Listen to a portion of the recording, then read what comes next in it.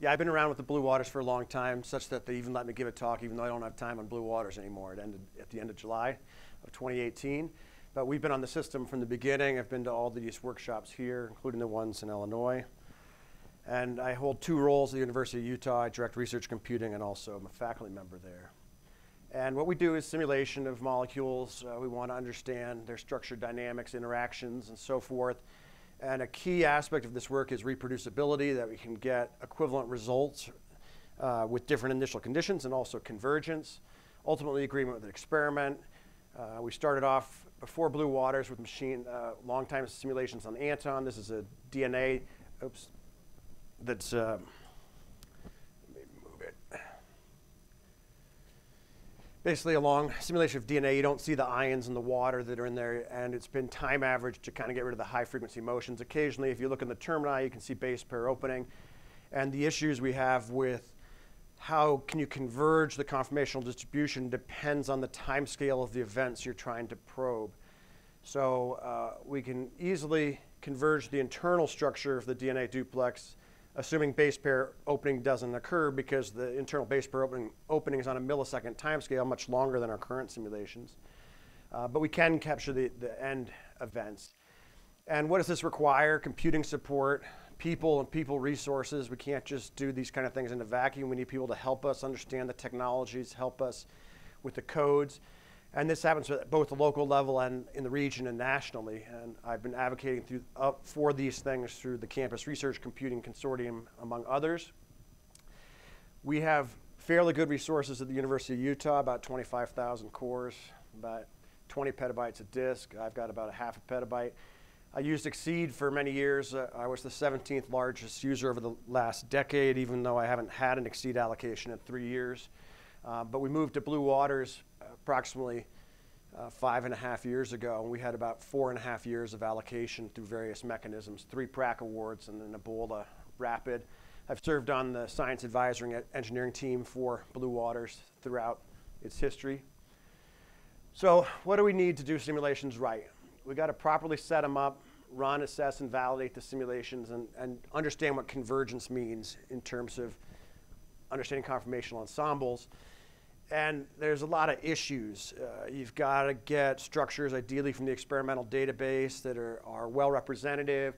You got to set it up. You got to add ions and water, and have to have the right force fields.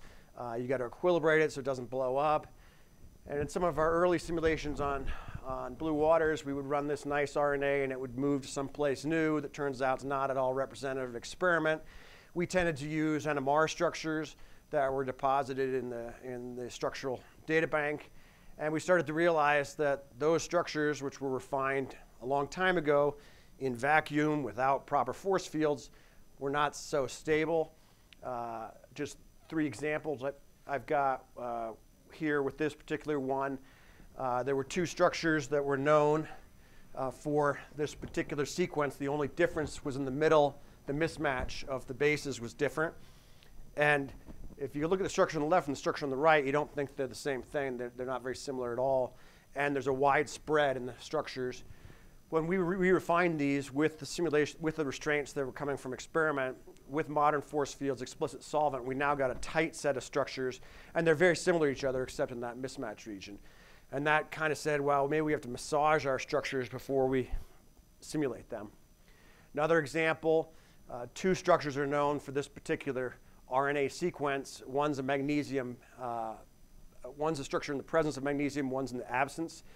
The original NMR showed kind of a wide range of structures that satisfied the restraints. When we re-refined the NMR, we got a very tight structure, and we were able to show in simulation spontaneously we could add magnesium and convert to a magnesium-bound structure. And it turns out that the magnesium-free kind of samples between two conformations, and the magnesium locks it into one. And so that was kind of exciting. And another one more recently was this DNA mini dumbbell.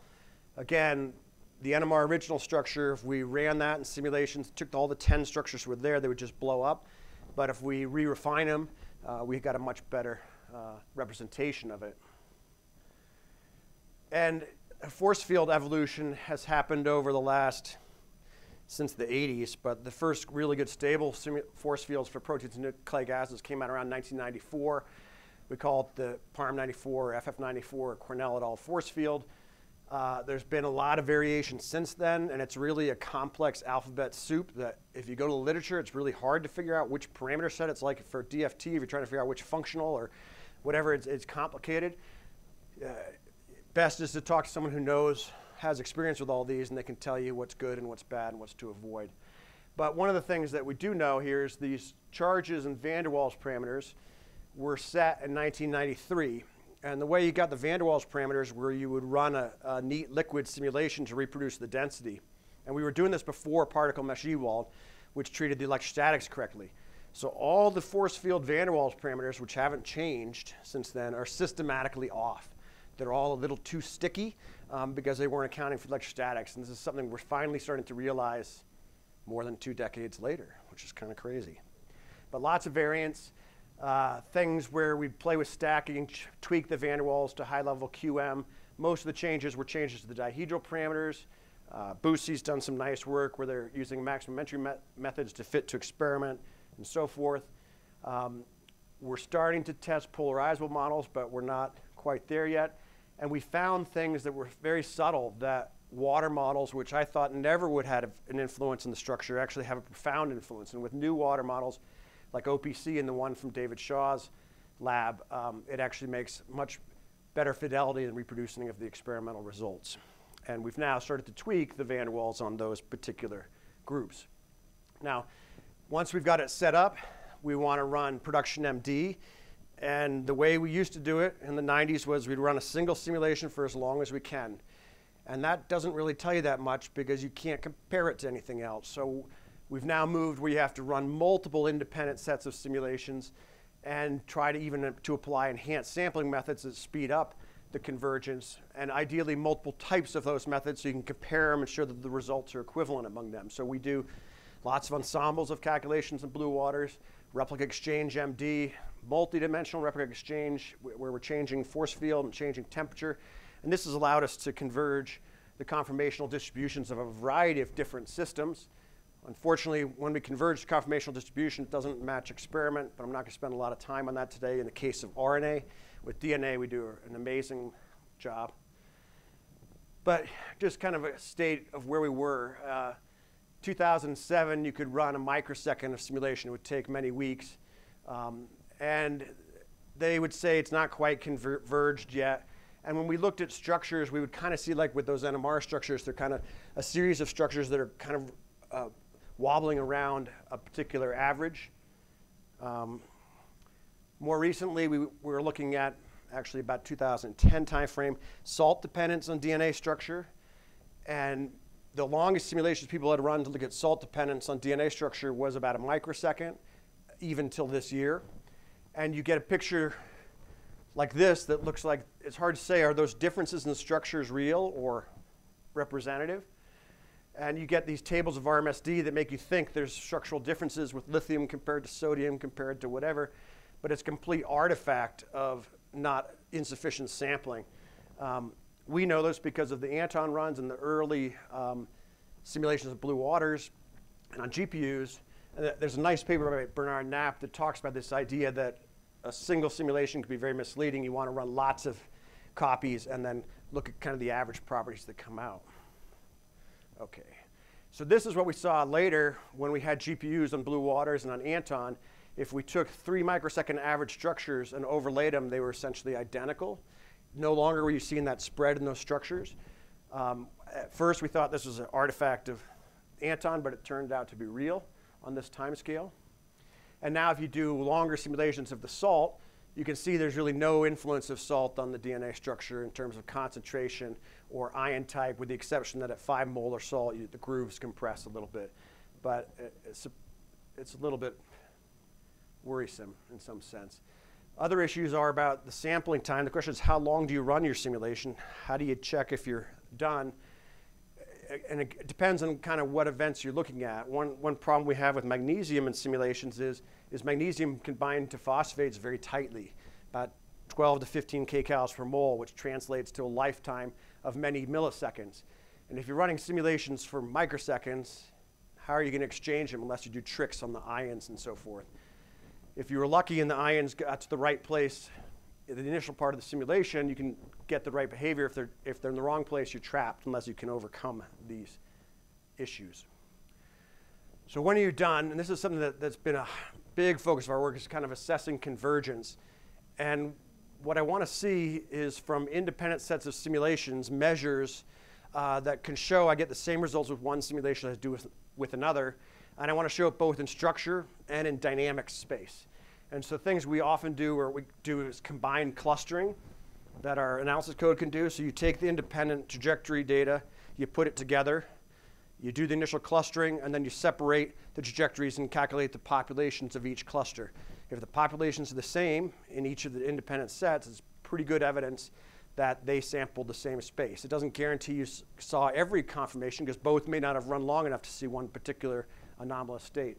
And same thing with in dynamic space, we can calculate the principal uh, components, principal modes of motion from the trajectories. We put them together, calculate them, then separately project them. And if they overlap, it's a pretty good indication that the results are equivalent. And uh, oh, this shows an example from uh, the Anton uh, runs we did. We did two different Anton runs for a long period of time. Uh, since it's DNA, uh, the modes of motion are harmonic. The first five are shown, and there's a, a dotted line and a solid line. Essentially, there's complete agreement between uh, the modes of motion. It shows that those two independent trajectories, different initial conditions, different salt placements, and so forth, get the same reproduction of the modes of motion. And if you look at the internal uh, base pairs, uh, we can look at this Kullback-Leibler divergence in the, in the difference between the modes of motion. When it gets down to zero, says there's no difference between uh, the two trajectories, and by five microseconds is essentially identical. But if you include all the base pairs, you initially show this nice convergence where there's the same, but then suddenly some of the modes differ between one simulation and the other, and that's because of terminal base pair opening. In one case, uh, the base pair opened, in the other case it didn't, and even later, here we had two base pairs open, which caused that third mode of motion to divert and change. So here's when these salt simulations, you run a salt simulation and look at the cluster populations first time, and you run just a microsecond time scale. The lines are still crossing. You haven't converged the populations of the different members of the conformational ensemble. By the time you get up to 10, 15 microseconds, they're fairly stable, but they're still not perfectly straight in terms of the populations so it takes a long time. Uh, to do this work, when we were doing the replica exchange um, runs, we would run like up to hundreds of independent uh, MD simulations that were exchanging information. And when we started to analyze these on the Lustre system, we were doing it from a single node, and it kind of just took out the Lustre file system.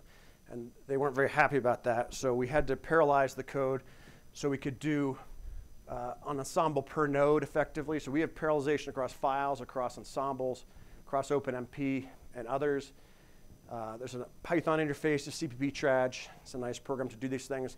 Some new features. Uh, we've got Lennard-Jones PME in there for energetic analysis. We got a way to define states. Like if you were doing a membrane simulation, you could say the drug is outside the membrane, it's on the membrane, it's in the membrane, and then you can calculate lifetimes and probabilities and so forth, which is really kind of cool. Um, another thing that's not seen in many analysis codes is we can do what's called the symmetric RMSD. So if you imagine protein simulation of phenylalanine flips, it now looks like a different atom order when you compare them. This corrects for that automatically to get the lowest RMSD. Okay. Paper on the parallelization of CppTraj was finally published 2018. Um, one of the things we also have to do with replica exchange, if we're doing multi-dimensional replica exchange, your trajectories are written out in a particular format. They're either like per replica or per temperature or per Hamiltonian. But when you want to do the analysis, you want to be able to sort them to get all possible. You want to see properties of rep each replica, properties at a particular temperature, and properties at a particular Hamiltonian. We had seen we did temperature replica exchange, fairly long for the time, but uh, only 24 replicas.